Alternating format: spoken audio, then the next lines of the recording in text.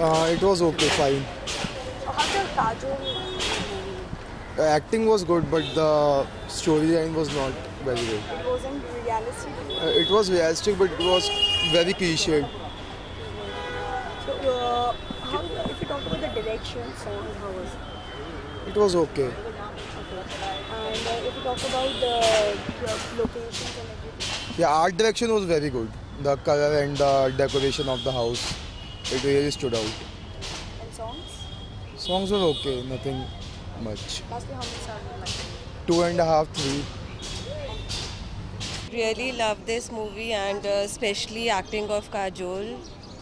She is my one of the favorite actress and I loved her acting very much. And this is a really blockbuster comeback for Kajol. If we talk about the, is it a realistic acting? Yeah, and- very realistic, very realistic. As a mother, I am also a mother of a child and as a mother, she is very real. Okay. Can you relate this thing? Yeah, definitely. You can see in my eyes, tears in my eyes. I can very much relate myself to this movie. If we talk about the uh, songs and direction, direction? Very much good, very much. one thing you didn't like about the movie. Nothing. Nothing. No, nothing. So lastly, how many stars would you like? Five. How was the movie? It was really nice. I would just rate. I mean, y'all are asking me for ratings. So I five out of five. I would give it. How relatable it is? It is relatable completely because they've shown exactly what a mother and a child's relationship is, and you know, actually, many people forget what mothers do for us, and this is exactly what I wanted to convey to all the kids out there. Please go and watch it with your mothers. There's nothing that I did not like about the movie. I'm a big time Kajol fan, so I, I really love it. Is it a perfect uh, time to come back Kajol? She never went, I believe. She was always there. Yeah, she, she, yeah, she was always there. It was never a comeback for her. How's the songs and direction? Songs and directions were also. See, I'm not a, I mean, film buff. I can't tell you about the direction part, but yes, it was a really nice movie, worth a watch. Yeah. many stars would you give? Out of five, five out of five, five out of five. Thanks. हाय ये कैसी लगी movie अच्छी लगी।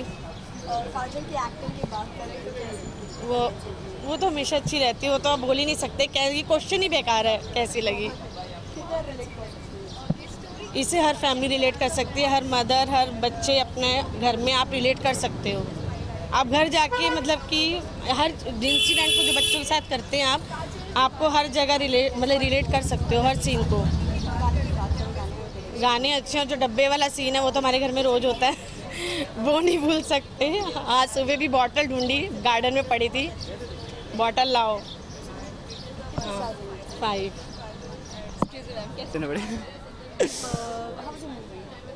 Fantastic fantastic no words to express Related, yeah, related to moms and son stories, related to us. How convincing it is? Ve- very much convincing yeah Is it a perfect time for Kajal to come back? yeah it's perfect time to kajal In terms of the songs and all, which song you like? uh, ye rakhi duniya sari that was a fantastic song yeah, In terms of the direction, everything was fantastic It's one like, thing you didn't like about the movie? everything I, I loved it yeah Lastly, how many stars would you like? five thank you How was the movie? Very bad. Very bad. Really? Yes, it was very bad. Bad script, super bad acting. Uh, only Kajol was the one who actually did some justice to the movie because she's a top class actor. But uh, other than that, very bad.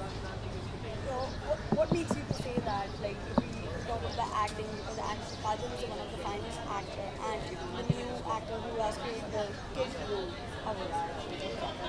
Look, as I said, uh, Kajol is a super actor. I mean, you know, आप उन्हें कुछ भी दे दीजिए, she will going to do well. But then at the end of the day, even being a super actor, you need to have a good script and you need to have a good supporting cast. Uh, I think uh, neither the supporting cast has been able to do justice. Uh, as far as the direction is concerned, Pradeep Sarkar is the director of this movie who has directed Mardani as his last movie, which is a very good movie. But then Mardani had a good script, right? If you talk about this movie, I mean, if you even find even one single person who says that, you know, script बहुत अच्छी थी, तो make, make me meet him, right? I would like to give him like something because I don't think so that at any point of time you will feel that the script is uh, doing justice or uh, the script is going in the right direction. So it was not convincing. How's the songs? Ma'am, Amit Trivedi was a music director of this movie, I guess, like three weeks, four weeks back. I, I remember I saw Man Marzia, in which Amit Trivedi did a fabulous job because he not only he did good songs, but the background score was also good. But in this movie, I don't think so. What exactly he was doing, or maybe the demand of the script was like this that you know he had to perform badly. So the songs even didn't went anywhere. Direction? Pradeep Sarkar, director of the movie, I, I think you know after Mardani, uh,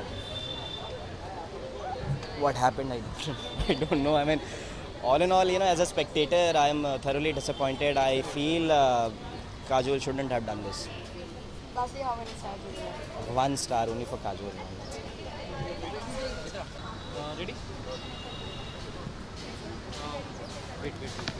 Okay.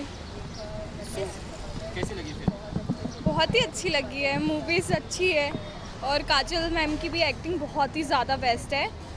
उनसे हमें सीखने को बहुत ज़्यादा मिलता है acting line पे हैं एक्टिंग फ़ील्ड पे हैं तो बहुत ज़्यादा मॉडलिंग पे भी हैं तो इससे बहुत नॉलेज मिलता है और स्माइल बहुत ही क्यूटनेस है।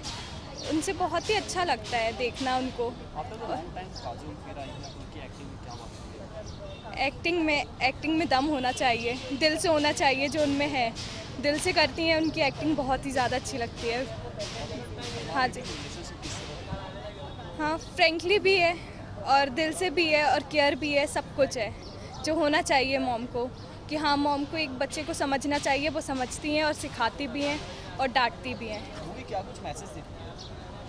मूवीज़ बहुत कुछ मैसेज देती है जो नोटिस की जाती है। उनकी एक्टिंग से नो, नोटिस किया जाता है कि हाँ क्या होता हैगा कि मूवीज़ में बच्चे के लिए क्या कर रही हैंगी वो और क्या हमें करना है। म्यूज़िक एंड डायरेक्शन कैसा था? बहुत ही अच्छा था। कितने स्टार आउट ऑफ़ फोर ही दूँगी मैं भी। Thank you so much